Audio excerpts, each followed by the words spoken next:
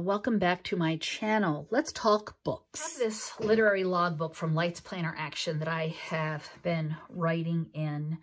Um, I really don't think I'm going to finish this particular book. It's called LA Weather. It's not really my taste.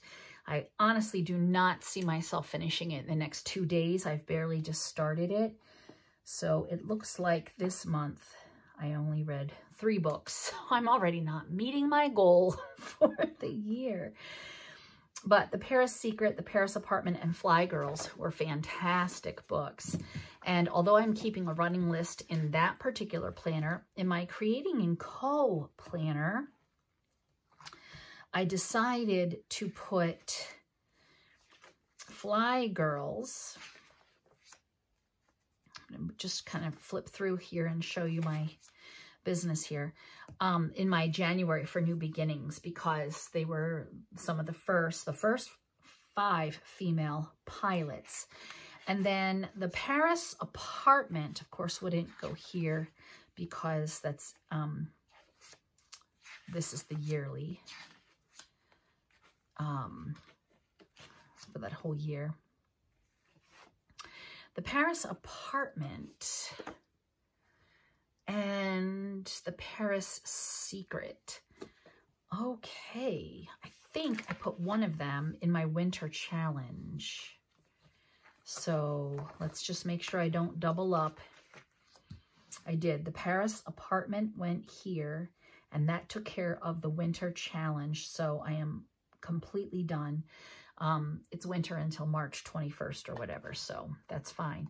So I need the Paris Secret. Okay, the Paris Secret. Um, the Paris Secret is a new to me author. It was a very good book. I loved it. It's not a nug.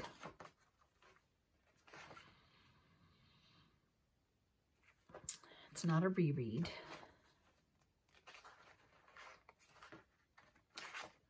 Okay, and then that's A to Z. Um, I guess P, Paris, I'll put it in here.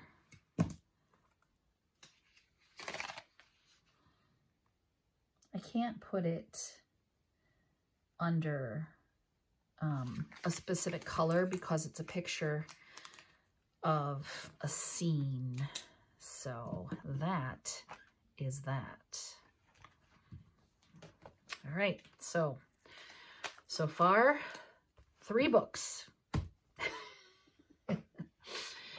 the Paris Secret and the Paris Apartment were fabulous. So if you um, are interested in World War II time, historical fiction, those are two excellent, excellent books.